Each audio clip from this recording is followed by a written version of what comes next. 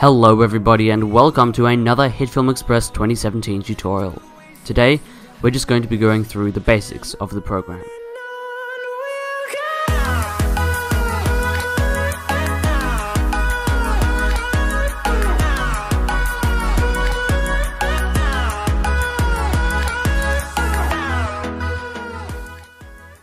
Today's tutorial is going to be rated 1 star out of 5 on the difficulty scale. So, we're just going to start off in this splash screen here. The splash screen is a handful of tutorials, tweets, and other things that get you pumped to use the program. You'll notice at the top that there are four tabs, Home, Project, Edit, and Export. We're currently on the Home tab. Open recent projects and create new ones on the left. We're going to create a new one, so just hit the New button. Now we'll be moving over into the Project tab, which is where you define your project settings. Here, you can select a template resolution and frame rate, or select your own. You can even choose up to 4K resolution. Once you're done, hit Start Editing to begin editing. Now, we're going into the Edit tab. This is where you do all of your editing, and where you'll be spending almost all of your time in HitFilm. There are a lot of panels here, so we're just going to be going through them now, one by one. Here's the media panel. You sort out your media here, importing and organizing, and then you put it into your timeline with the trimmer panel here. Then there's the editing timeline, which is where you assemble and rearrange your clips and media to form your film. You have the viewer up here, which is where you view the content in your editing timeline, and your audio levels here. You also have controls to adjust clip properties and effect properties, an audio mixer, an effects panel to apply effects, a text panel for editing text, and a track panel for motion tracking. By the way, all this is customizable by clicking on the grid button here. The default workspace is editing. So let's start off in the media panel. To import your clips, very simple, just hit the import button. Here I've got some video files, images, and a soundtrack. Next, the trimmer. When you select a clip in the media panel, you see it previewed in the trimmer. You can play it back, as well as set in and out points using this button and that button. Or you can hit I and O on your keyboard. An in point sets where the clip starts, and the out point sets where it ends. This is just kind of a preliminary trimming before it goes into your editing timeline. You can hit this button right here to drop that trim version into your timeline. So let's have a look at this editing timeline. First of all, we can zoom in on it using the slider in the bottom left. It's track based, so we can see one video track, video 1, and one audio track, audio 1. By the way, the video track contains only visuals, no audio. So if we add an image here, we can see that it has a video section but no audio. If we drag in an audio track, there's no visuals. You can drag multiple files onto the same track one after another, but if you want to have two playing at the same time, you have to drag them onto another track. For example, I can drag this image above the other video, and it will create a new video track for me. Clips on higher tracks will show above those below. To create a new audio track, simply right click on the existing track and create a new audio track. Now let's get into the editing tools. The default selection tool here can do a lot of things. You can select clips, move them around, and shorten and lengthen them. There's also the drag tool, which you can use to drag left and right in the timeline, and the slice tool. The slice tool splits your clips so that you can edit them separately. There are other tools too, but we won't go into them today. Let's open the Controls tab. Here you can adjust the properties of a clip and its effects. In a video's layer properties you can adjust the blending mode. Under transform you can adjust position, scale, rotation,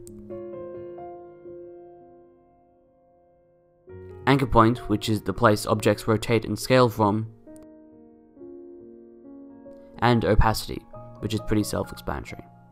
For audio clips, you can adjust the level or loudness under layer properties.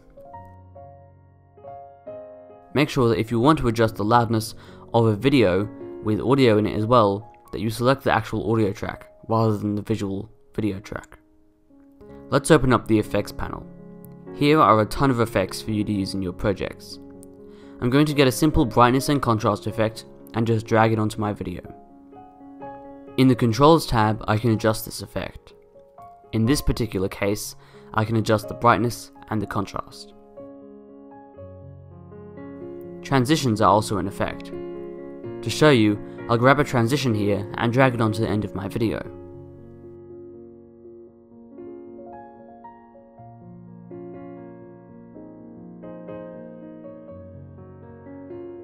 Now we're going to talk about composite shots.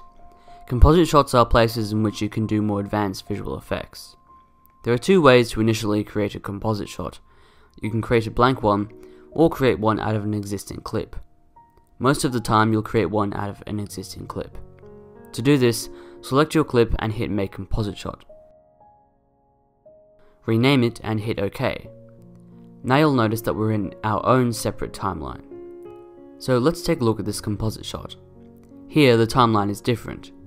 In composite shots, every clip has its own track. You can't put them next to each other on the same track. This means that it's easier to composite multiple assets one over another. Let's take a look at how we can create text. Text can only be created in a composite shot. To do this, just hit New Layer, Text. You can set a custom text box size, we can change this later anyway. Just hit OK. Now go to the text tool on the top left of the viewer. Select inside your text box and type. You can expand the text box by dragging on the bottom right corner.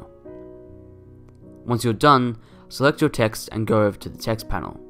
You can select a custom font, size and color. I'm going to leave mine white.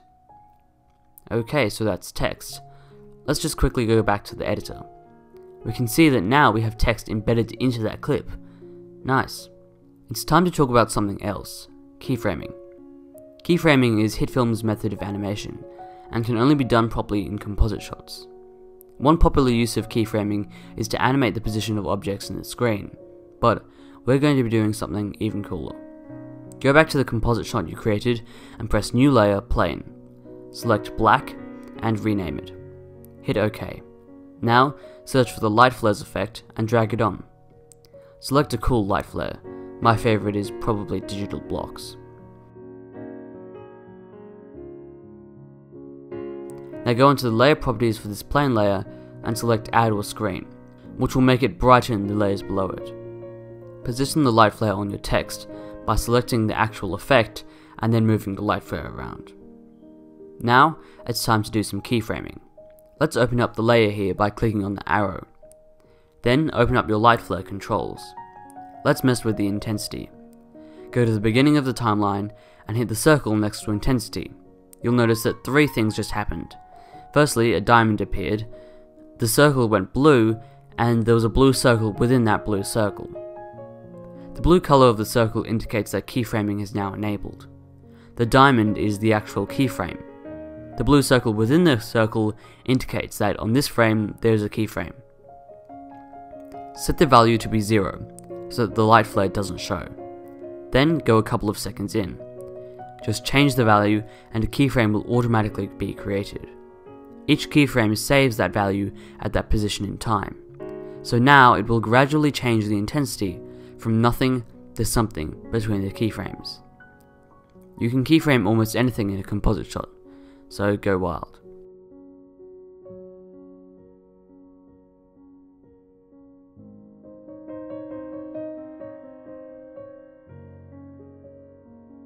I've now applied a lightning and electricity effect and keyframed a couple of values. You'll notice that as time goes by, it becomes more and more laggy. To fix this, we'll do one of two things. We can lower the resolution by clicking on Full in the top right hand corner. We can lower it to something like Quarter to get lower resolution but hopefully more frames. Alternatively, you can do a RAM preview. This is only for composite shots. I'm going to set my resolution back to full just to do this RAM preview. Hit the circular play button right here and it will start rendering out your video. Just let it run and when it's done, you'll be able to see which bits are RAM previewed by looking at the blue sections of this little timeline here.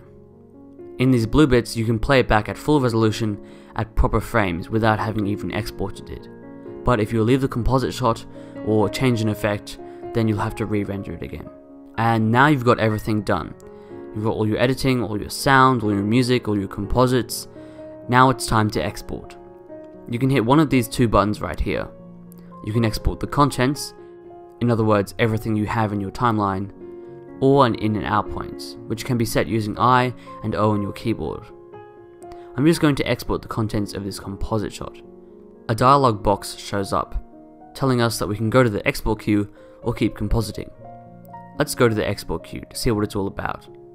Now we're in the export queue, in the fourth tab called export. You can see that we have one task on the left. This one here is from before, so I'll delete it. You can add multiple tasks to the export queue and you can export them one after another. This shows what it is exporting as well as a preset. On the right hand side of the screen you can see the presets. These are predefined export settings. For example, YouTube 1080p is a preset that exports 1080p video in quality suitable for YouTube to upload.